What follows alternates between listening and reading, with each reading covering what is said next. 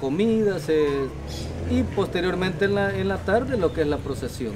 También el día 24 va a ser la coronación eh, de la reina de las fiestas, en honor a Santiago Apóstol de acá de la, de la iglesia. Correcto. Bueno, gracias. Bueno, a ustedes. Así que vamos a, a, continuar nosotros, les vamos a seguir mostrando más de, lo que Y hoy se dedicaron nada más a lo que es la preparación. Eh, solamente a, a, preparar los elementos, ¿verdad? Ya que son, ya es el día 25 desde temprano, que ya se monta, ya teniendo todos los elementos.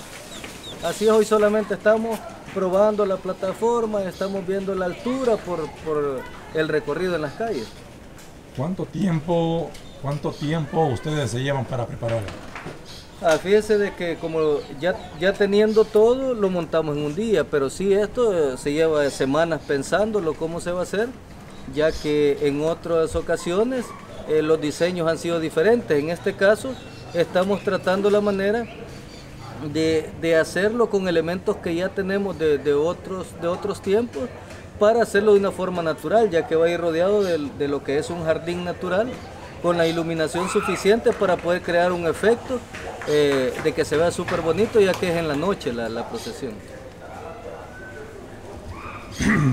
¿Cuántas personas este, se, se encargan de, de, prepararlo? ¿Cuántos son el grupo de ustedes? So, somos un equipo, somos un equipo que anda entre las 8 o las 10 personas que nos mantenemos siempre, ya el día de, del evento, el día de la procesión, ya ese día sí, somos más personas, ya que nos toca movilizarnos, porque esto está lleno de gente, entonces nos, trasladamos a otro lugar para poder ya, este, y que la gente no lo vea, porque la sorpresa es eh, que a la hora eh, que ya nuestro patrono Santiago sea montado en la plataforma, eh, crear ese efecto de, de que la, la, gente se admira, se asombra, ¿verdad? Cuando ya este, es traído acá frente a la iglesia.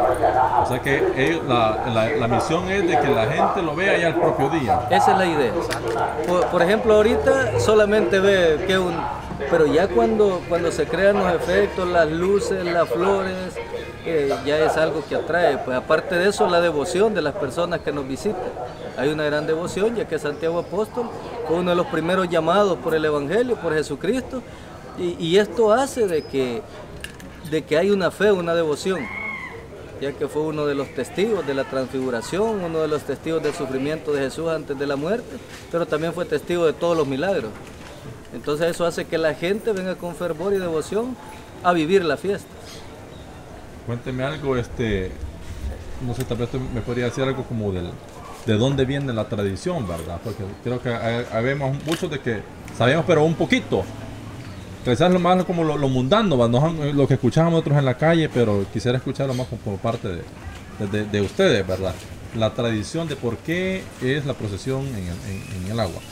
Vaya, una de, de, las cosas es que la, la, imagen fue traída hace tiempo. La barra solamente se llamaba barra. Pero una señora trae la imagen de Santiago Apóstol desde España y es así como ya recibe el nombre de Barra de Santiago.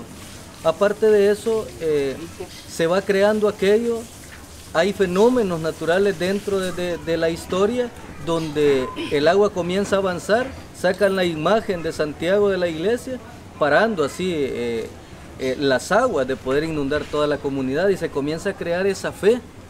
Aparte de eso, la gente va creando como aquella especie de identificarse con las tradiciones de la iglesia. Y así como se va creando una cofradía, se va creando ya esto de la procesión, algo que, que fue novedoso, algo que fue novedoso ya que la mayoría de, de, eventos, de procesiones son en, eh, por tierra.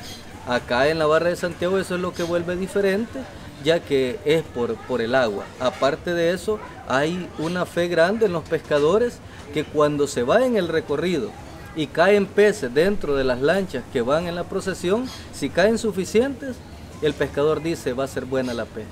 Y si caen pocos, dicen hoy va a estar mala la pesca. Entonces así es como ha venido evolucionando y la gente ha venido tomando fe. Y, y hay tantas, tantos milagros, tanto, tantas gratitudes que la gente este, viene y dice, miren, yo recibí tal milagro por intercesión de Santiago Apóstol. Cuénteme algo, este, yo, yo he escuchado, como le digo, hacia parte afuera, en la, en la calle, de, no sé si es como un mito o como leyenda de que en, la barca donde iba Santiago Apóstol caía un pez dorado. Hay muchas cosas para que se, que se dicen afuera. Pero, ¿qué, qué, me puede decir usted acerca de ese mito? Permítame. Pues realmente no, no es un mito, es, es algo real, es algo creado eh, por la fe de los que van, ¿verdad? es algo creado por la fe de los que van y también por los efectos creados eh, por el murmullo de personas, eh, por las luces y todo esto, pero también viene lo que yo le decía, el, eh, creer que cuando caen suficientes peces, porque no es solamente en donde va Santiago, sino que es en las diversas lanchas. A veces son cinco, a veces son cuatro, a veces son tres, pero a veces son hasta 13, 15 los que caen. Y la gente levanta su pez en la, en, la lancha y dice, pescó uno Santiago. Y es así como ya lo llevan y se le va colgando en la atarrayita. Si ustedes pueden hacer una toma en la imagen, él lleva su atarraya, lleva su espada, ¿verdad? Ya que Santiago eh, fue un hombre de temple, pero también era un pescador de donde fue llamado. Entonces así como eh, pescó uno y los, los peces se le van colgando en la atarraya. Y ya cuando llega a tierra hay mucha gente que dice, mire, regálenme. Hay gente que lo ha disecado y lo tiene en la sala de su casa como, como algo de- de- del fervor, de la fe, que es el patrón Santiago quien ha pescado eso. O sea, que es cierto, no es un mito. Es, No, no es un mito, es una, es una realidad. Y como en eso se basa la fe, en eso se basa la fe. De hecho, ah, hay algo, una historia muy hermosa de un señor que tenía un hijo que aquí viene a vender papas el muchacho, bueno, ya hoy señor. A él se le ahogó el, el- el muchacho. Se le ahogó y él venía todos los años y trajo a su hijo muerto y lo fue a tirar. Y le dijo, Señor Santiago, si usted me revive a este niño, yo vengo toditos los años hasta que me muera. Y lo dejó. Para asombro de todo fue que eh, de presto el niño comenzó a reaccionar.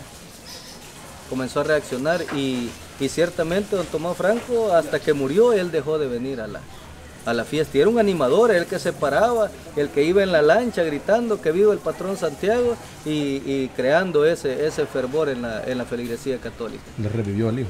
Sí, revivió el Podríamos decir que ese es uno de los milagros que se le pueden atribuir al patrón Santiago. Ese es uno de los milagros por intercesión de Santiago Apóstol. Así es.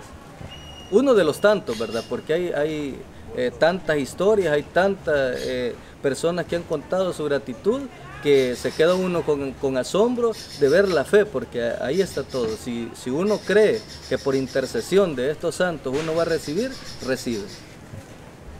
¿Su nombre cómo es? Máximo Hernández. ¿Corto o qué? Sí, sí, cortado.